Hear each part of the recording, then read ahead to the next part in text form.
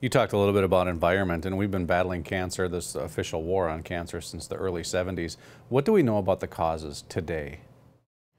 In my book, I have I, it's mainly about testing. I mean, you know, I tell people Mm-hmm. what what the test is, the phone number to call, how to get, how long it takes for the test results to come back, what to do if the kit comes in the mail, the benefits, limitations. But I go a little bit into about what the causes of cancer are, and in a nutshell, it's what I said before: toxicity and deficiency.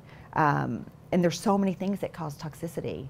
Um, you know, fungal mycotoxins in our diet cause toxicity. Chemicals, stress. If your if your body is, um, you know, your your your gut flora is is is not strong, and you know, I talk to people about their diet, and they say, "Oh, I eat really well. I eat grilled chicken. I eat vegetables, but the chicken they're eating has antibiotic residue, and it's killing their gut flora." Um, so I'm like, "Well, you better be taking a probiotic with every meal."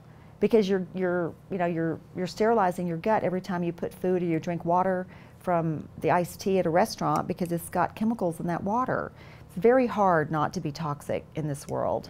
Um, there's you name it, it can cause cancer, and the fact is we don't. No matter what causes it, I think it's really hard to avoid those causes in this world. You just need to find it early and always be de- detox- detoxifying your body. Um, people take zeolite. Sweating is huge. We go from air conditioned building to air conditioned car, into the office, to the grocery store, back home, and air conditioning. Um, but we forget to sweat, and the toxins. A lot of people are getting breast cancer. Um, skin cancers are just huge, but we're, are- we're just toxic. We're just very toxic.